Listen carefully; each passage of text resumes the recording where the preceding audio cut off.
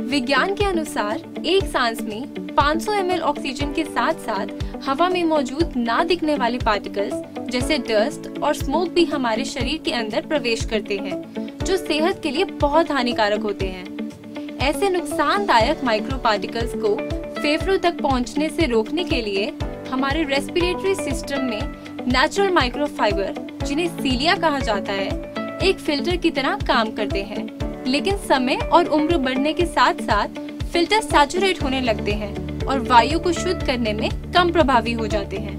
आपकी हर सांस को सेहतमंद रखने के लिए वेस्टीज लेकर आए हैं sharps high efficiency particulate air filters HEPA जो है लेटेस्ट टेक्नोलॉजी के साथ निर्मित मैकेनिकल एयर फ़िल्टर जो हवा को एक महीन जाली के माध्यम से फ़िल्टर करता है और हानिकारक कणों जैसे धूल और धुएँ आदि को आपके शरीर में जाने से रोकता है।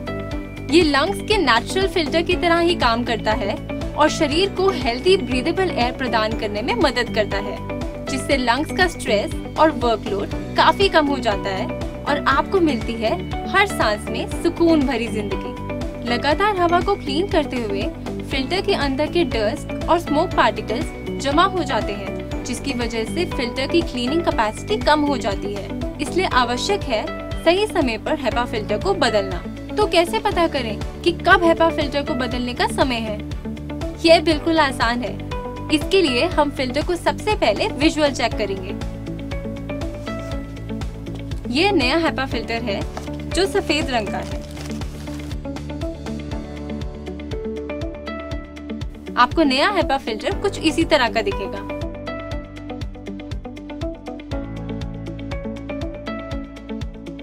ये है एक यूज़ हेपा फ़िल्टर।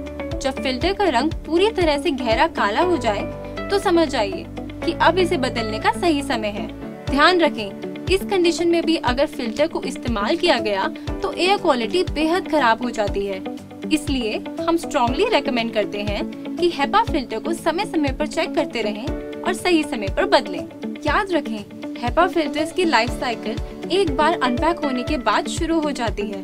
भले ही इसे इस्तेमाल किया गया हो या नहीं क्योंकि इसकी एफिशिएंसी अनपैक होने के बाद से कम होनी शुरू हो जाती है। इसलिए ध्यान रखें कि आप हेपा फ़िल्टर को एयर प्योरीफायर में इस्तेमाल करने से पहले ही अनपैक करें और इसके बेस्ट रिजल्ट्स के लिए रेगुलर इंटरवल पर इसे बदलते रहें। साल में एक बार हमें कार्बन फ़िल्टर बदलना भी ज़रूरी है। याद रखें हेपा फ़िल्टर आपके एयर प्योरीफायर का सबसे ज़रूरी हिस्सा है। इसलिए सुनिश्चित करें कि आप इसे नियमित अंतराल में बदलते रहें। हमेशा याद रखें कॉन्टामिनेटेड एयर शरीर को नुकसान पहुंचाती है और लंबे समय में हेल्थ को खराब कर सकती है। इसलिए अपने और अपने परिवार की सुरक्षा के लिए रेगुलर समय पर इस फ़िल्टर को बदलते रहें और स्वस्थ रहें।